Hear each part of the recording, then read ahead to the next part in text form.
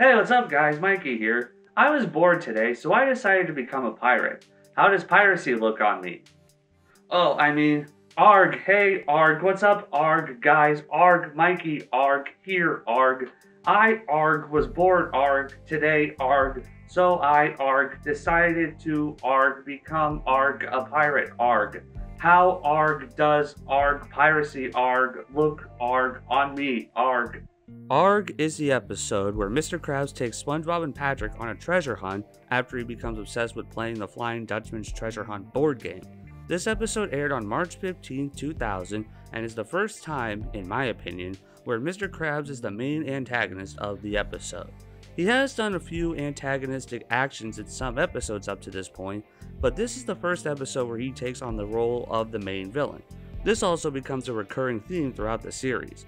Even though Plankton is the main antagonist of the whole series, Stephen Hillenburg himself actually always planned on having Mr. Krabs be the secondary antagonist. While I do agree that Mr. Krabs being the main villain of the episode has definitely been taken way too far at times, I do think it can be pretty enjoyable when it's done right. Now before you say anything, yes, Mr. Krabs' villainous side is also shown in episode 17, Squeaky Boots, when he tricks SpongeBob into buying those boots, but I don't think his actions were too bad in that episode. The squeaking noises do start to haunt him in his sleep, and then he feels guilty after he takes the boots away from SpongeBob and hides them. He doesn't really show any remorse or own up to anything he does in this episode. Most of the times when Mr. Krabs is the main villain, his extreme greed is what truly pushes him to do those actions. But that's not really what happens in Squeaky Boots. He does trick SpongeBob, but his actions quickly catch up to him and he owns up to what he did. In this episode, Mr. Krabs does things like playing a much bigger trick on SpongeBob and Patrick, has them sleep outside, and makes them do all the work but tries to keep the treasure for himself. All of that is much worse than what he's done in Squeaky Boots. And that's why I view this episode as Mr. Krabs' first role as the main antagonist. So let's watch this episode and relive that main villain role.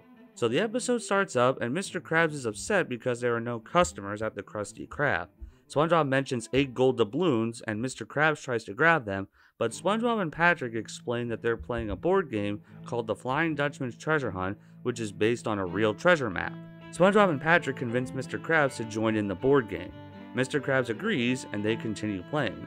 Patrick takes a turn, and then SpongeBob does, and then Mr. Krabs, who wins and starts to go crazy. Mr. Krabs, we went over this. It's a board game. Fred arrives at the Krusty Krab and Mr. Krabs throws him out because he's become addicted to the game. They continue playing for the rest of the day and Mr. Krabs wins 17 times. SpongeBob and Patrick become tired and they decide to leave. When SpongeBob gets home, Mr. Krabs was already there and he keeps trying to get SpongeBob to play with him and doesn't stop until SpongeBob finally snaps and reminds him that it's just a board game.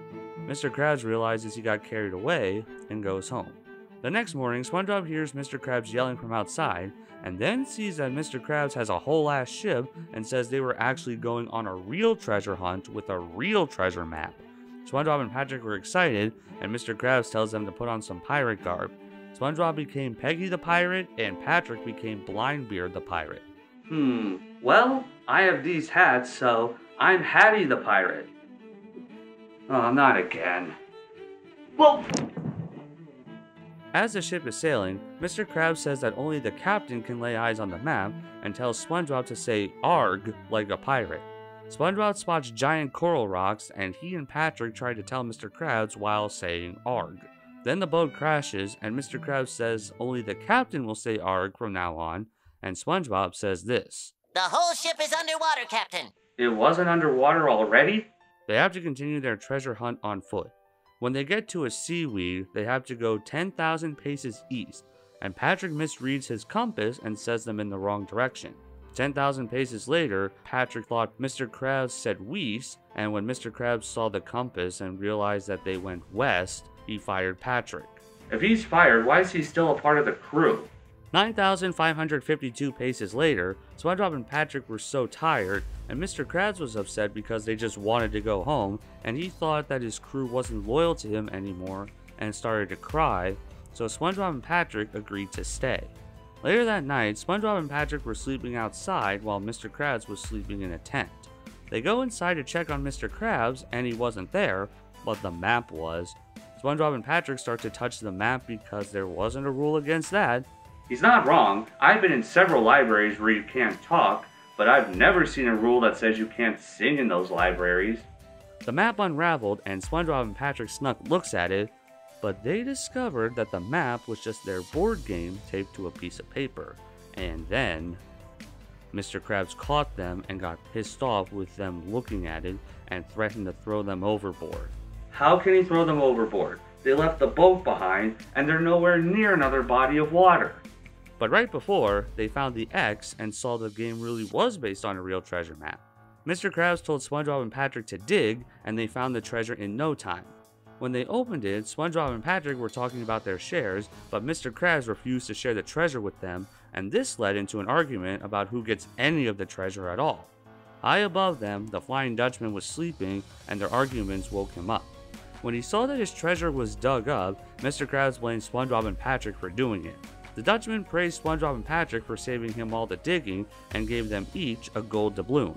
Mr. Krabs wanted a reward since he was the captain and he gave them the orders, so the Dutchman gave him a plastic treasure chest, which was based on a real treasure chest.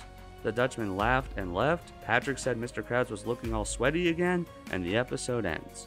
So that was Arrgh, and I love this episode so much. There are a lot of funny moments here. My favorite part was when SpongeBob had two peg legs and Patrick had two eye patches and they fell on each other. I also liked when the ship was sailing and SpongeBob and Patrick kept saying ARG while trying to tell Mr. Krabs about the rocks. SpongeBob and Patrick sneaking peeks at the map and Mr. Krabs showing up out of nowhere was quite an effective part of the episode. The foreshadowing done earlier when Mr. Krabs saying only he can lay eyes on the map was pretty good use of foreshadowing in my opinion, and of course Patrick's I thought you said Weast line is iconic too. Speaking of which, when Mr. Krabs says Patrick sent them west instead of east, I thought they were sent north instead. Here's my explanation. Patrick said Weast. Of course, that's probably him thinking that's how you pronounce west, but Weast could have also been a combination of east and west. Weast is literally east with a W in front of it. He looks at the compass and then points forward. There's north on the compass, and he just points forward. And east west isn't a direction on a compass, but it kinda sorta meets in the middle of east and west. And going south would send them back the way they came, i.e., before the seaweed. So that's why I thought Patrick sent them north and not west. Or maybe that whole explanation was a stretch, I don't know. Either way, that doesn't take anything away from the episode at all. Going back to what I love about it, I always loved when SpongeBob and Patrick would call Mr. Krabs sweaty. I really like when there was that female singer singing things like! It's also awesome when Fred gets thrown out of the Krusty Krab at the beginning of the episode, and when SpongeBob screams at Mr. Krabs about going to bed. I've stated before how much I like the Flying Dutchman, and I do think his role is good here too. He doesn't appear until the end, but it does make sense with this context. I also thought it was so humorous when the Flying Dutchman said, I'm the Flying Dutchman. in his sleep. Yes, I also say my name in my sleep too. I'm Mikey. I'm Mikey. For this being Mr. Krabs' first role as the main antagonist, I think it was done pretty well. As you have seen, a lot of his actions here are much worse than what he did in Squeaky Boots, so that's why I consider this episode his first major role as an antagonist. His actions here aren't as bad as later episodes in my opinion, but this feels like the first time where we really see his villainous side, and he does get his comeuppance in the end. I do think that this whole episode being about a treasure hunt is awesome. It's really well done here and feels really appropriate for this show. Oh yeah, and it's also funny when Mr. Krabs kept firing Patrick in this episode. I remember a time when my dad watched this episode with me, and he laughed loudly when Mr. Krabs hired and then fired Patrick at the Krusty Krab. This episode is just all around really good. It's just really enjoyable to watch. There's a lot of funny parts here, and the story works really well. I feel that this episode is very rewatchable, and when I was a kid, this was always one of my favorite episodes from season 1. Looking critically, I don't know if I'd consider it my absolute favorite episode from the season, but it's definitely one of the best from this season in my opinion. Arrgh is an awesome episode. Mr. Krabs' villainous side is used well here, and there are so many funny moments throughout. The way the story flows and how the characters act make this one of the best episodes of season 1. And all of that and more just makes this one of the most rewatchable episodes of the whole show. Oh, I mean, ARG, ARG isn't ARG, awesome ARG, episode ARG.